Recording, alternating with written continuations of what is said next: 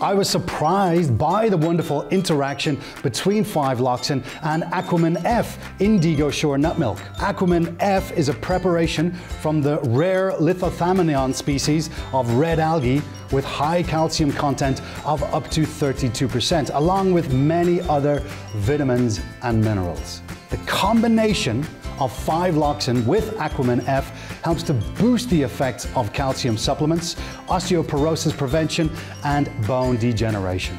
Patient bones and joints can be restored from deep inside and flexible movement in joints can be quickly resumed.